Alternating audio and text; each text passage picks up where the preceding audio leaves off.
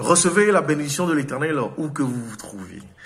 Le verset de notre méditation se trouve dans Genèse chapitre 3, le verset 9. Nous lisons, mais l'Éternel Dieu appela l'homme et lui dit, où es-tu? Avant que l'homme ne cherche l'Éternel, c'est Dieu qui chercha l'homme. Et la Bible nous dit que l'Éternel appela l'homme. Dans notre société, avec toutes nos avancées technologiques, nous sommes aujourd'hui très habitués aux appels téléphoniques. Même les réseaux sociaux ont développé des techniques d'appel vidéo. Mais avant tout cela, c'est Dieu qui appela l'homme. Dans sa chute, dans sa perte, dans son péché, c'est Dieu, nous dit la Bible, qui appela l'homme.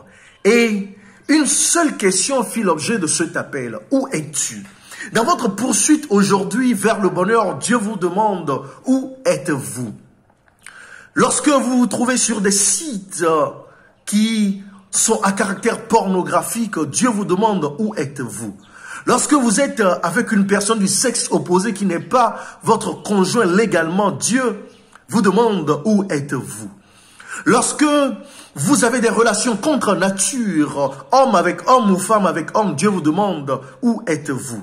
Lorsque vous êtes euh, embobiné dans des coups de corruption ou dans des crimes, Dieu vous demande où êtes-vous?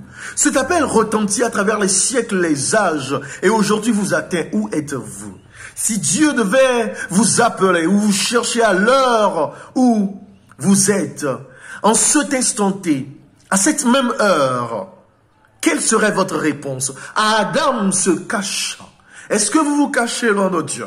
Est-ce que vous aussi, vous vous sentez éloigné de Dieu? Alors écoutez l'appel de Dieu qui veut savoir où êtes-vous. Cela ne veut pas dire que Dieu n'est pas omniscient ou omniprésent ou omnipotent pour savoir ou connaître votre localisation, mais c'est un appel à la repentance, c'est un appel à reconnaître la souveraineté de Dieu et à revenir à lui pour trouver en lui force, pour trouver en lui sainteté, pureté et pour trouver en lui bonheur, joie, paix et sécurité que nous cherchons souvent loin de lui. Que Dieu vous bénisse et que vous soyez toujours dans la présence de Dieu.